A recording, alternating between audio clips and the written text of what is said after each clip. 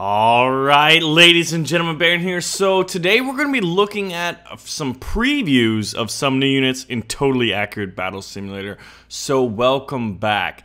Now, first, a quick announcement is that we're working on a 16-player tournament where you guys suggest well, rather, you guys submit your armies and you guys battle each other, the winner of which is going to get a totally accurate battle simulator pre-alpha code for Steam. So I'm still working on that. It's taking longer than expected. I was like, oh, I want to have it out this weekend, and it's like, and then the weekend came. It's like, oh, I'll have it Monday. Well, I want to do it right, and I want to make sure that we have a variety of armies and really get like this bracket set up right. So that's not going to be out today and from now on I all I know is I want to have it done this week. We'll just keep it at that. So in this video what I'd like is I would like formation suggestions. Basically the classic episode we've done in the past, which is you guys submit what armies you'd like to see fight what and uh, when you place your vote by commenting in the comments section, if you see an idea that you like, make sure to up like that. Okay, so now let's look at these units. So first we have a thief. Now, these you can see one footman going up against what looks like 30, 20, 30 something like thieves. And at the end of this GIF, you know, you don't really get to see the end of it, right? But on their Twitter, they showed a picture of the footman kind of just like reigning supreme. So I'm not entirely sure what the thief does. Is it really just a dude with a knife?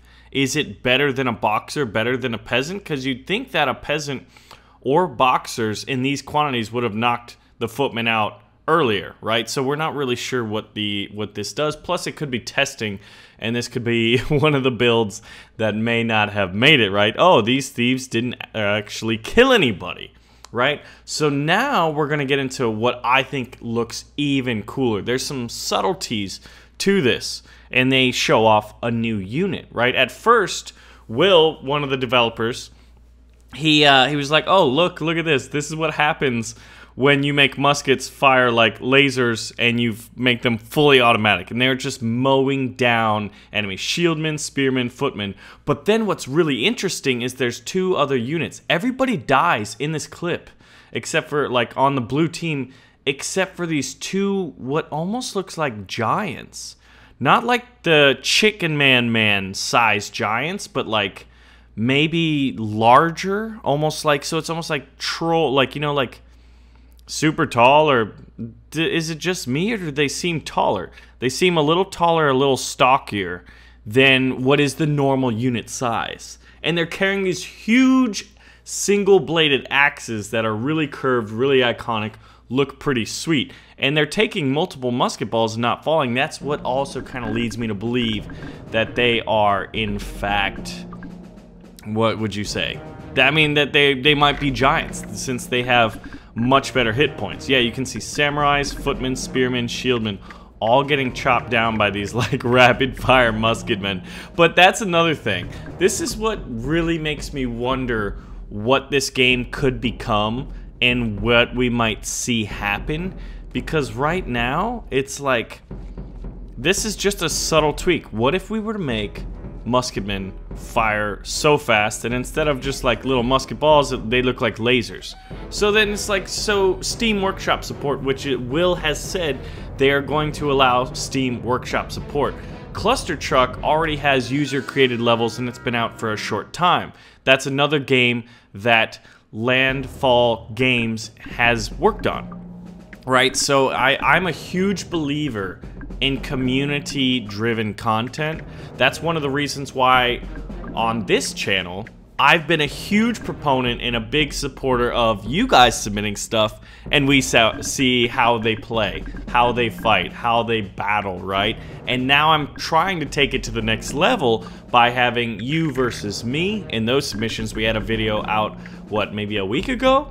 And I thought that one went really, really well. It was a lot of fun to for me to build an army blind and then you know, put up one of the submissions that you guys voted for that uh, that one of the subscribers put up. It was freaking awesome. Like, it's two armies that like I would never have thought to put together, right? And now we're working on the 16 player tournament and we'll probably do some more of those and like That's the beauty of like user created stuff is like I can come up with a lot of good ideas. You guys can come up with a lot of good ideas. Collectively, we can come up with even more better ideas. You get what I mean? So it's like with with totally accurate battle simulator, it seems like it is a no-brainer. It's a no-brainer that you would want Steam Workshop support because um, I'm a big fan of a lot of games that have like Steam Workshop support. Like one of them is like Total War games. I like those. Those are more subtle stuff and they don't allow 3D models. So that's kind of a lesson I've thought is like, well, and that's because Total War Warhammer um, adding in adding in 3D models is kind of against their agreement because there's a lot of intellectual property and big lawyer and all this big money stuff going on, right? But with an indie game studio like Landfall Games, and a game like Totally Accurate Battle Simulator, where really it's not totally accurate at all, and that's like the beauty of it. But what if someone made a mod that it actually was totally accurate? What if like you see the lasers coming out of those rapid fire musketmans? What if like people were like, oh well, I want to make my guys look like stormtroopers, right?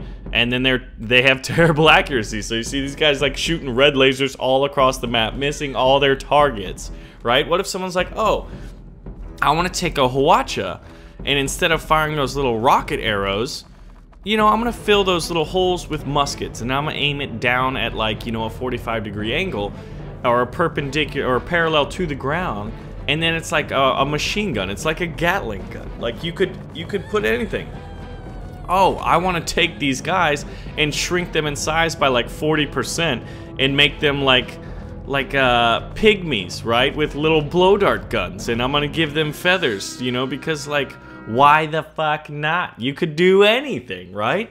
So, anytime I see this, like, my imagination goes wild, and that's one of the main reasons why I'm so captivated by this game, is A, it's entertaining to watch.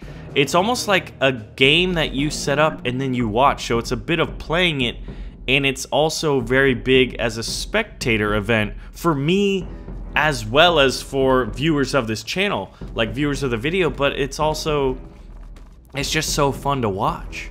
I love the ragdoll physics. I love the derpy sounds.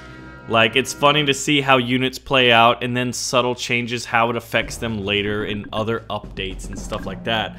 But what I'm just chomping at the bit for, and I've said this in probably every other episode, like one out of every three or four episodes. It's just like how excited I am for the user created content for totally accurate battle simulator.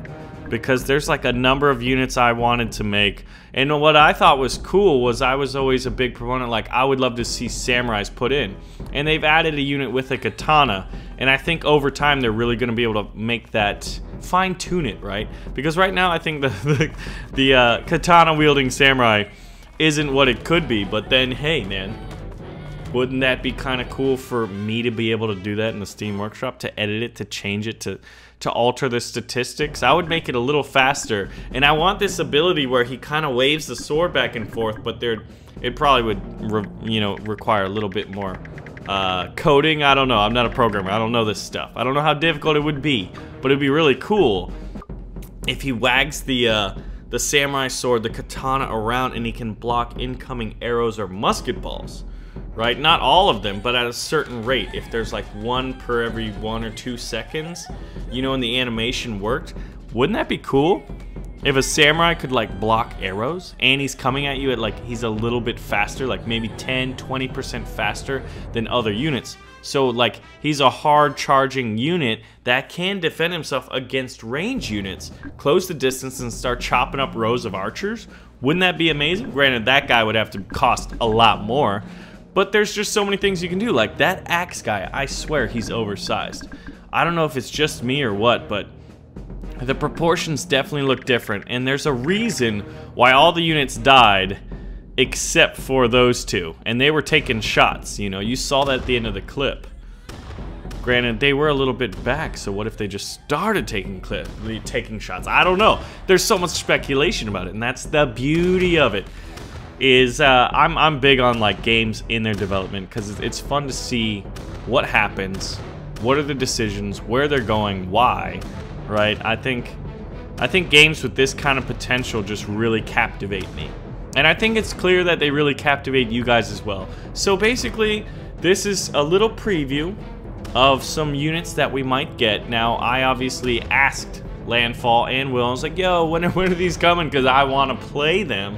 There was no con confirmation on when they would happen, but we do know that there's been two units previewed so far. We've got the Thief armed with these little daggers, and apparently a big group of them cannot take down a footman, at least in that build that was shown in the GIF. And then we've got these, what seems to be slightly oversized giant axe-wielding units, which can take multiple musket lasers.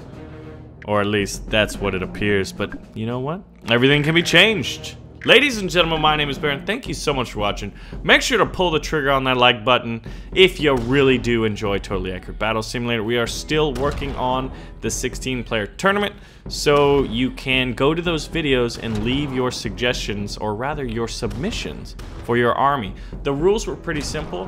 25 units max, 2,500 money spent max. Um, and you know, we're gonna see who's gonna win the tournament. The winner of the tournament's gonna get a code. Ladies and gentlemen, this is fun stuff. I'm so glad you're a part of it. I'm glad to be a part of it. I'll see you guys in the next video.